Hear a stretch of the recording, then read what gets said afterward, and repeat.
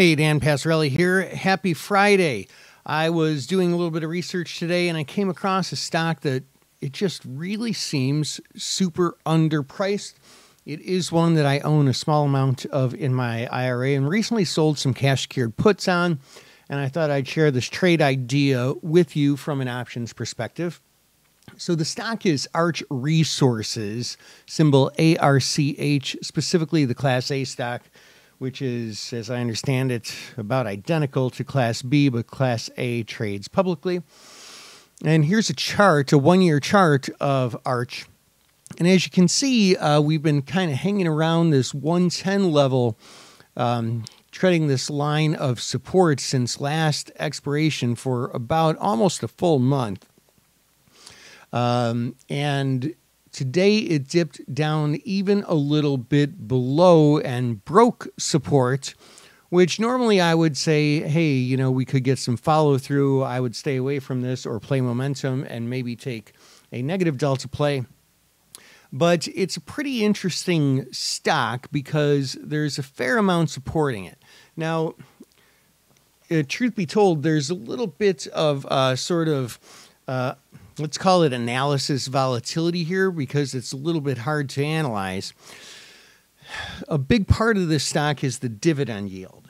Now, if you look up what the dividend yield is on a lot of sources, it's going to say it's this really small dividend yield, like less than 1%, which is technically true because the fixed dividend is 25 cents a quarter but they also have a variable dividend. They pay out 50% of the free cash flow that they earn.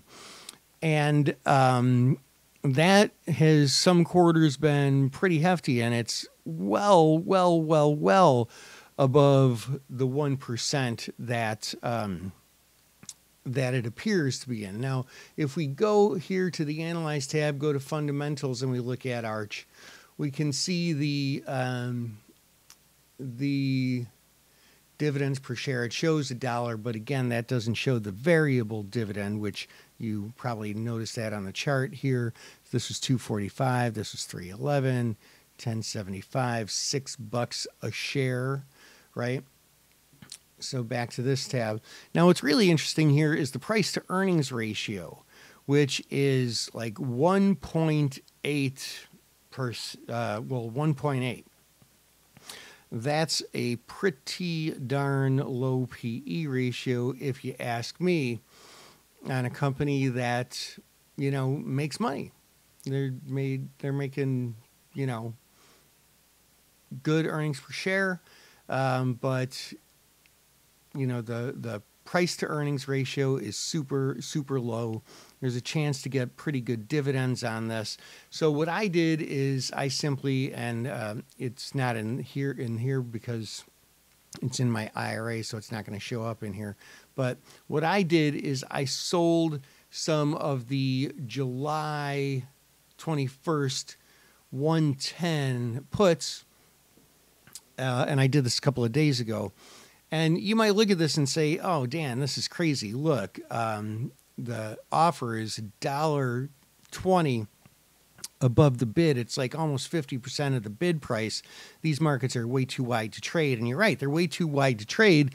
But to me, I'm not looking at this as a trade. I'm looking at this as an investment. And if I get assigned at the 110 level, I'm going to be pretty happy about that and I'm going to hold on to it and I'm going to collect the dividends and I'm going to go and I'm going to write some covered calls and uh, at a higher strike than what I bought it for.